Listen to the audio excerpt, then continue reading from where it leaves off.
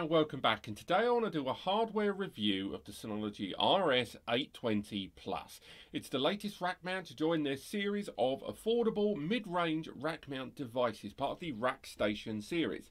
Now this device arrives at about 700 quid, give or take, without the hard drive SSD media or with the VAT included. So wherever you're going to buy in your part of the world, wherever where it is that you buy it, no indications there that you should buy from anyone in particular, it's going to cost you somewhere around 700 quid without the VAT. So is this device worth your data? That is the big question we want to talk about because I could focus on the software a great deal, but I have talked about Synology's DSM software, particularly DSM 6.2, quite a lot.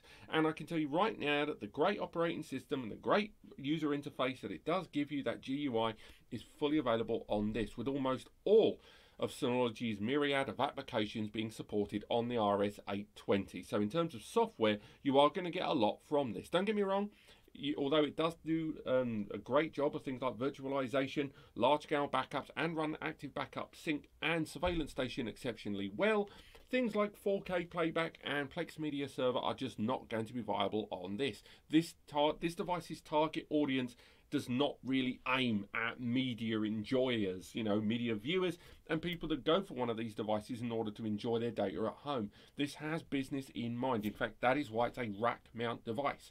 In previous videos, we have talked about how rack mount devices are, you know, whenever you have the same hardware inside one of these as you find in a desktop device, there always seems to be the business tax. Rack mounts arriving somewhere between 10 to 20% more expensive overall than their desktop um, alternates. So in the case of this, that 700 quid may seem exceptionally high for the specs that we're going to talk about. I've mentioned the specs several times, so let's go through them.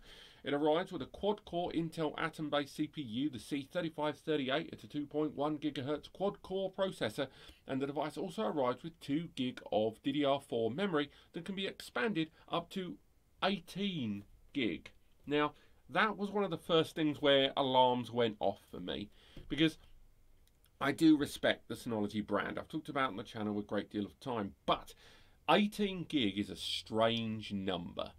Um, now, the CPU, I'm prepared to forgive. I know a number of you, and definitely people in the comments after this video, will no doubt comment on the fact that that CPU choice, that Atom or Denverton CPU, depending on the pronunciation, um, is not exactly the newest processor. It's still a great CPU for NAS, being powerful yet efficient at the same time. It's still an x86 64-bit architecture chip from Intel, but it's still a little long in the tooth as far as CPUs go. But at this price point for a 4-bay 1U rack mount solution, it's still not too shabby. But that memory was something that really stuck with me because I was kind of 18 gig is a strange number. It'd be one thing if there was such a thing as a 9 gig stick of memory, but it isn't the case. This device arrives, and I'll show you in a moment, with 2 gig of memory soldered on board and an empty slot where you can install up to one 16 gig memory, a SODIMM memory uh, module. Now, non-paired memory is always a slight worry.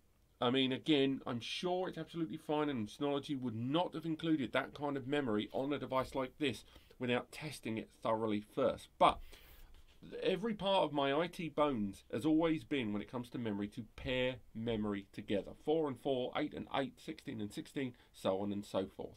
And the idea that I would put a 2 gig and an 18 gig stick inside one device I find very, very peculiar indeed. But I won't harass them too much for that. But for me personally, ooh, weird. But other than that, in terms of hardware architecture, this is still a fairly impressive device. It's got metal trays built into the front there that support up to the very latest 16 TB hard drives. And again, metal chassis design, metal tray design with 2.5 inch and 3.5 inch holes for that hard drive and SSD media inside.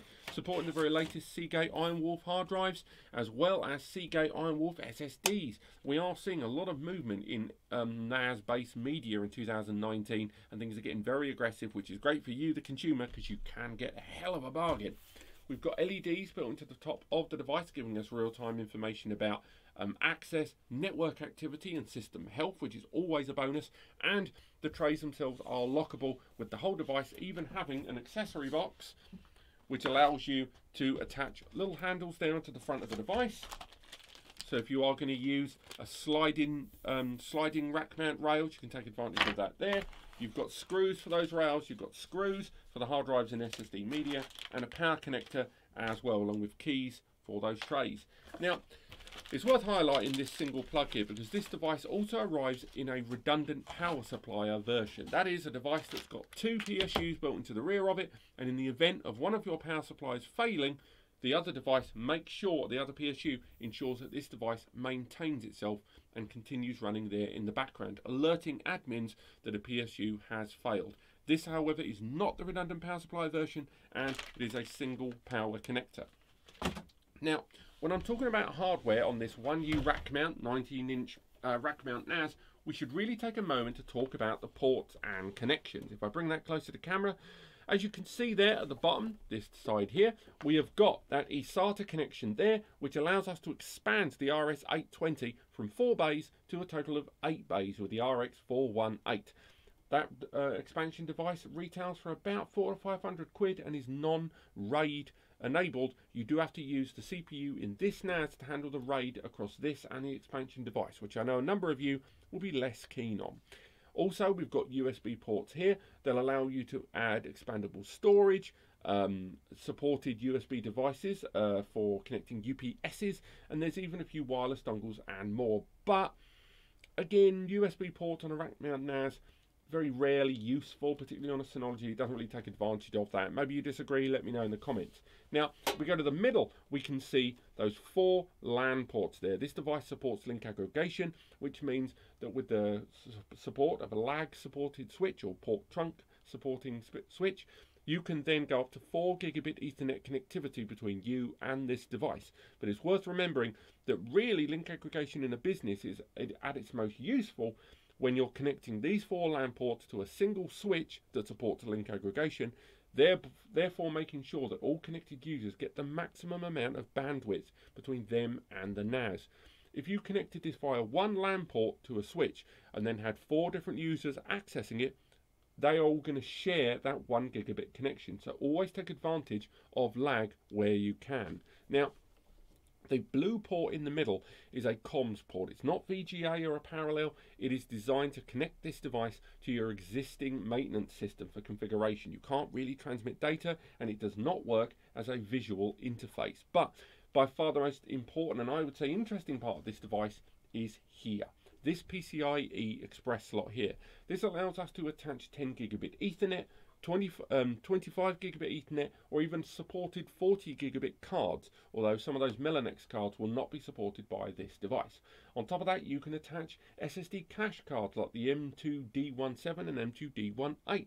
This allows you to install two M2 or two NVMe M2 SSDs to enable caching in this device and therefore create an enormous amount of internal speed which you can then output accordingly. However, Currently, there is only the option to have M2 SSD caching on a PCIe card or 10 GBE. It won't be till next year with the release of the Synology E10 um, E10M20 T1 card, which is a joint 10 GBE and NVMe cache card. So again, if you do buy this device, keep an eye out for that card later on. It will help you remove the bottleneck from the inside and the outside of your hardware. But overall, this is what I would expect for a rack mount 1U NAS, and particularly part of the flagship Plus series from Synology. Its design is rugged, it's very well put together, and if we remove this lid, I already removed the screws prior to this video. If I remove the top of the chassis, we can take a good look at the inside of this device. Now, we bring that up there. And I'll try and get on the mic still. We can take a look inside. Now, I'll try and get the light right. You may notice straight away, going back to my earlier point, this memory slot here. Now this is again something I find deeply disappointing. This memory slot being um, a single slot means that either under this heatsink, which I doubt, or on the other side of this controller board is that 2 gig memory module. And this is where we can install a 2 gig, a 4 gig, an 8 gig, or a 16 gig SODIMM DDR4 module. Don't get me wrong, it's nice to be able to expand, but that's still a weird way to have done it. And I don't know why they changed it from the way they did it on the RS818 previously. On top of that, we've got that heatsink covering that PS, uh, the CPU that's inside, that Atom, which again, combined with the um, passive and active airflow systems working throughout this device, means that you will get great internal core temperatures which will ensure this device works very, very well and efficiently as possible. As far as 1U rack mounts go, this is still a very impressive device. Although not quite part of the 2020 series um, that we were really, really, really hoping Synology would reveal to us now at the end of the year, it's still a welcome addition. And if you are looking for an affordable 4U, uh, 1U 4 bay rack mount solution, this is probably one of the best things out there from Synology. However, if you do feel, feel you're slightly underwhelmed by it, then I thoroughly recommend you check out the RS1619 XS Plus because that is a rack mount that just keeps on giving. And I do recommend you check out my video on that. It hopefully has been recommended on the side, otherwise do check it out. But this has been my hardware review of the RS820. I'm not going to say it's my favourite NAS I've ever looked at. That would be an absolute lie. But what I will tell you is right now, in terms of Synology's own portfolio, if you're looking for that one U with four bays of storage, which with hard drives as big as 16 TB these days, means that you are going to get a serious amount of storage from this 4 bay and going for a 700 quid rack mount frees up a lot of your budget to go directly into the hard drive media a PCIe upgrade card, or a combination of 10 GBE SSD cache to give you that incredible workflow, which that CPU will give you. So do check that out. But otherwise, thank you so much for watching. Click like if you enjoyed it, click subscribe to learn more, and I'll see you next time.